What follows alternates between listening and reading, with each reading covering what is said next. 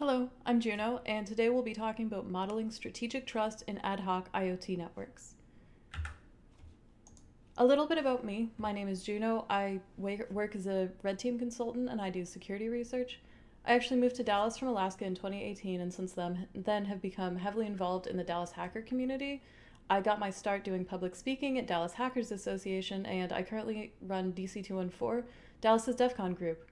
Uh, outside of the community, I also volunteer and teach at with Girls Who Code, Black Girls Code, and through some of the local schools. I've got my bachelor's degree in computer science and economics, and I'm currently getting my graduate degree through NYU. My contact information is up there if you have any questions or want to know more about game theory. So, what actually is game theory? Game theory is the interdisciplinary marriage of statistics and behavioral economics. It's actually been used throughout history to model uh, strategy and choices during times of conflict and competition. Game theorists, or the Pentagon, the Pentagon really started hiring game theorists during the Cold War, and now we'll actually see game theorists on staff uh, analyzing strategy at the Pentagon, the NFL, banks, and uh, throughout the gro- globe. Now, there are a couple key points we're going to want to keep in mind during this talk. First of all, is how economists define rationality is a little bit different than how anyone else would. Rationality in economics is doing what's best for oneself every single time. And this is how we uh, and we need uh, we need we need this to start modeling pay- we need this definition to start modeling payoffs for rational actors. The game is just the interaction that we'll be modeling, and the players are the ones doing the interaction, whether those are individuals or devices. And another idea we have to keep in mind is the idea of incomplete information, where players are playing, but they're they may not necessarily know everything about the game that they're playing. So, a little bit of a roadmap. We're actually going to start off with a common game theory example, the prisoner's dilemma, to sort of get into how we determine payoffs and how we break down some of these scenarios in uh, step by step to determine how choices are made and what the logical outcomes of the games actually are. Next, we'll actually take this to our case study. Um, uh, on dynamic ad hoc networks based off of uh, based off of 5G vehicle networks. We're going to start by again by defining payoffs and building out a decision uh, decision tree and matrices. And we'll uh, after defining the payoffs, we'll start to solve for the equilibriums, which are the logical outcomes of the game, and see how players' choices inform those of others. Our first example is the prisoner's dilemma, and this is actually one of the most common game theory examples. If you've ever opened an intro to psych or philosophy textbook or watched the pilot of pretty much any cop show, you'll have seen the prisoner's dilemma before. But in case you're not in case you're not familiar with it, two individuals are arrested after committing a crime and they're separated and offered a deal. Confess, a choice that we'll call defect, and only their partner will be charged. Or Stay silent, a choice that we'll call cooperate. If, however, if both players defect, both players are charged. If both cooperate, even without communication, both get a lighter sentence. And here I've drawn a payoff matrix for our prisoner's dilemma with our with our players Alice and Bob. Alice and Bob both have the choices to cooperate or defect, now, a little bit about where these numbers came from. Each number just represents the amount of relative good to that player. So, for example, if Alice chooses to fe- defect while Bob chooses to cooperate, she gets that payoff of 2, which is the best possible outcome for her as a rational actor. That's the payoff she gets by getting uh, by going free. While similarly, Bob gets the payoff of negative 1, the worst possible outcome or being locked up. Now, this is just an example to show modeling. Uh, the, uh, this one scenario obviously doesn't describe and all of the implications of the prisoner's dilemma. However, if you're interested in learning more about that, please check out my adversary village talk. Now, because Alice and Bob are separated, they have no idea what each other is has chosen or is going to choose. Essentially, this game is played simultaneously. Each player makes their decision independent of the other. So all they have to go off of is what they believe their opponent will do. So, if Alice believes that Bob will choose to cooperate, she'll choose to defect for that highest higher payoff of 2. Similarly, if she believes Bob will choose to defect, she'll choose to defect as well for that higher payoff of zero. And because Bob is in the exact same situation and has the exact same payoffs, he will make the same choice as well, choosing to defect in either scenario. This means the, uh, the outcome where both players defect is our Nash equilibrium. That's the logical outcome of the game, where players Uh, where players analyze their, their individual situation and make logical decisions best, based on that. Now, obviously, this is actually not the best outcome of the game for anyone.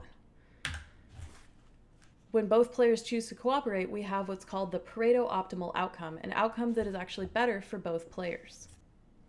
So, what is the takeaway from this example? First of all, it's that the rational outcome is not always the best. But this is meant to this is really meant to show an example of how we can quantify motivations and break down each part of the interaction in order to determine what the rational strategy is. And of course, one thing we have to keep in mind, especially for human based games such as The Prisoner's Dilemma, is in real life, of course, this doesn't happen in a vacuum, but it still, it still provides a good example for quantifying motivations and beginning to model rational strategy. So now we'll be looking at cooperation between vehicular nodes on an ad hoc network. Devices have the option to continuously share mutually beneficial information. And here we see direct object to object communication, uh, which means uh, we must establish that this communication is trusted. In the scenario, there's also so there's also not a trusted third party, and sharing resources comes with a risk. This raises questions about trust and security that need to be addressed before this type of network is deployed at a wide scale. And there are a few fu uh, functions of this type of network that are important for our model. These networks are dynamic, vehicles enter and exit after every interaction. And there's no end user configuration for this uh, as devices enter and leave the network. It's not a human initiated process. Interaction is direct between vehicular devices and therefore has to be strategic as devices have to judge trustworthiness. And this sort of setup facilitates deception. First of all, information lacks permanence. Because ve vehicles are moving on and off the network after every interaction, there's often no repeated interaction bet between nodes. Additionally, because the devices are communicating directly, there's not a trusted third party watching this communication. So here's our payoff matrix for our vehicular nodes. Now, what we're actually going to look at is the choices of a vehicle receiving inco an incoming data transmission, the choice to accept or deny it. And we'll actually have just the choice be by nature whether this node that our receiving vehicle is interacting with is good or malicious. Now, of course, if the receiving vehicle believes that the sender is good, it will choose to accept the incoming data. If they believe it's malicious, then it will choose to deny. Unlike in our prisoner's dilemma example, we don't end up with a rational equilibrium. So I actually took our payoff matrix and built it out into a decision tree.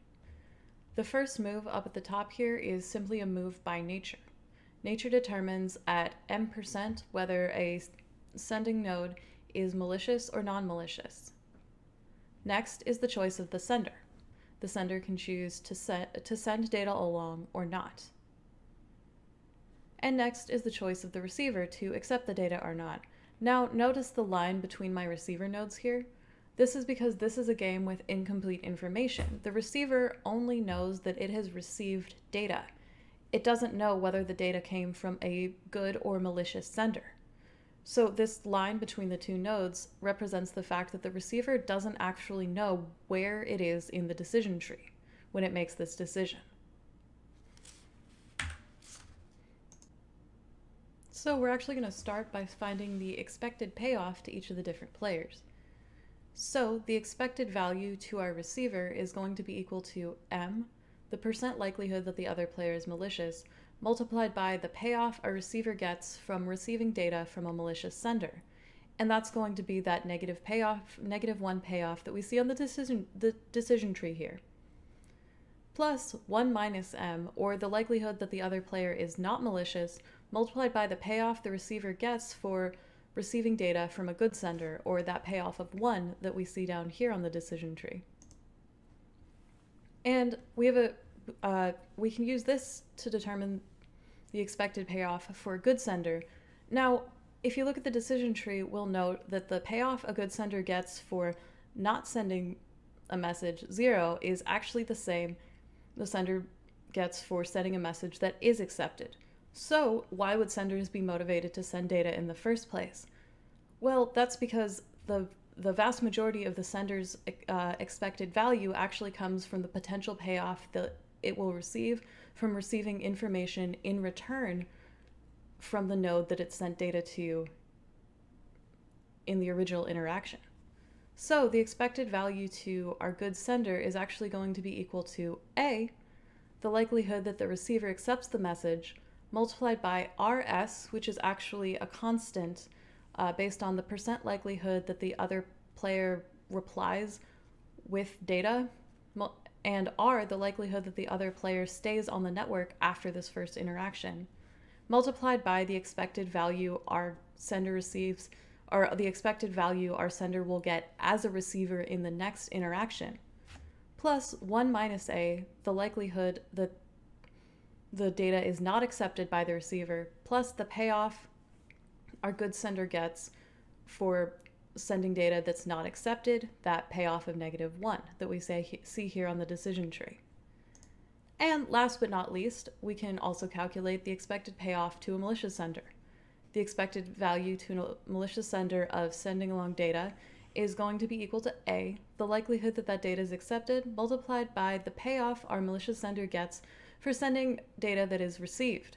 That payoff of 1 plus 1 minus A, or the likelihood that the receiver does not accept the message, multiplied by the payoff our malicious sender gets for sending a message that's not received, that payoff of negative 1.